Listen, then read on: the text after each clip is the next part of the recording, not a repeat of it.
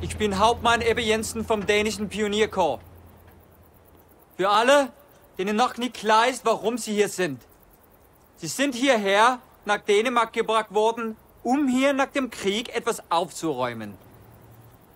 Dänemark ist nicht Ihr Freund. Nachdem das klar ist, erwarten Sie nicht, dass die dänischen Bevölkerung Sie mit offenen Armen willkommen heißen wird. Niemand will hier Deutsche sehen. Für uns dienen sie nur einem Zweck. Die ganze dänischen Westküste von den deutschen Landminen zu befreien, die sie zuvor hierher gebracht haben. Gegenwärtig liegen 2,2 Millionen Landminen entlang der dänischen Westküste. Das ist mehr als in all den anderen europäischen Ländern zusammen. Jemand muss geglaubt haben, dass die Invasion der Alliierten genau hier stattfinden würde. Was für eine Blamage für den der Sieg das ausgedacht hat. Und was für eine Schande auch für Sie.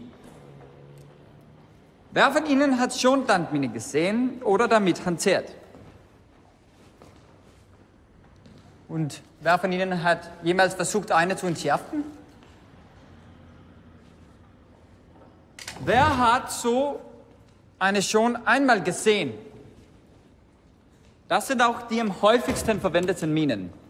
Um eine maximale Wirkung entfalten zu können, werden diese Minen 15 bis 20 Zentimeter tief im Sand eingegraben.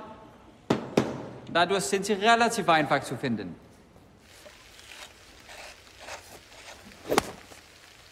Sie haben gerade Ihre Hände verloren. Na los. Wir haben keine Zeit für Selbstmitleid.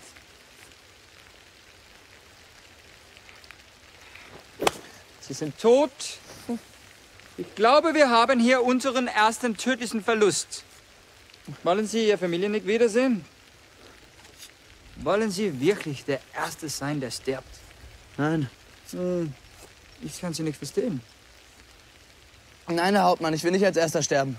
Freut mich, das zu hören. Versuchen Sie es wieder. Schon wieder tot.